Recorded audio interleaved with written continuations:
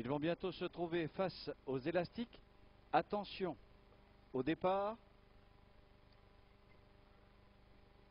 Ils sont partis. Excellent départ euh, pour Bourbon Classique qui s'installe tout de suite au commandement avec Bavarois du Varlet qui est venu à ses côtés tout à l'extérieur. Boston Dello également. Le 8, Eric disqualifié, le 8. Balco LT vient d'être disqualifié. Ils abordent le premier tournant de l'épreuve Bourbon Classique qui a pris seul les commandes de cette épreuve avec euh, à ses côtés Bavarois du Varlet qui précède également le long de la corde Bouquet de Tillard qui se retrouve très tôt parmi les premiers. Beauvallon GD. Euh, qui progressivement se rapproche en quatrième euh, position.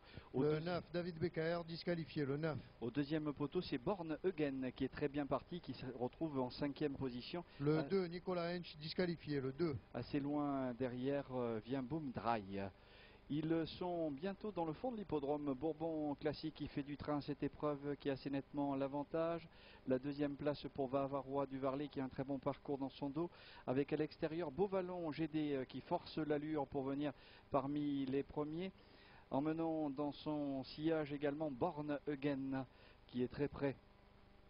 Viennent euh, ensuite bouquet de Tillard, ce petit groupe de fuyards qui a très nettement l'avantage sur Brundray qui cependant se rapproche avec également Baccarat du Narval.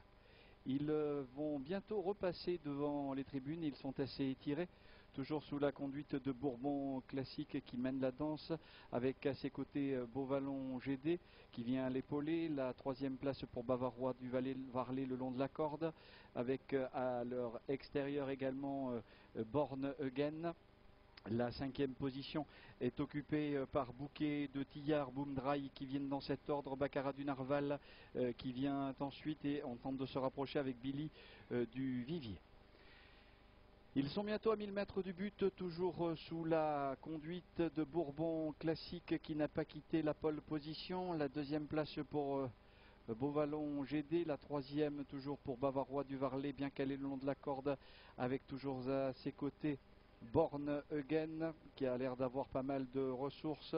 Bouquet de Tillard vient ensuite. Boomdry également qui attend son heure. Baccarat de disqualifié, le 1. Avec Billy Duvivier également qui tente un superbe effort à l'extérieur. Bientôt le bout de la ligne d'en face, toujours sous la conduite de Bourbon Classique qui a toujours le meilleur. La deuxième place pour Beauvallon euh, GD alors que Born Eugen se retrouve troisième et regagne de nombreux Le 13, Nicolas Moreau disqualifié, le 13 alors que toujours Billy Duvivier poursuit un très bel effort qui l'amène en quatrième position. Le tournant final est entamé par Bourbon Classique qui a toujours assez nettement l'avantage. Bornegen qui trouve le passage le long de la corde est en deuxième position avec Beauvallon GD qui a un petit peu de mal à tourner mais qui va se rééquilibrer probablement avec également toujours euh, le long de la corde en quatrième position Billy Duvivier. La dernière ligne droite pour Bourbon Classique qui a toujours l'avantage. Bourbon Classique qui pénètre en tête de la dernière ligne droite et attaqué bientôt par Born Eugen qui tente de conserver une place.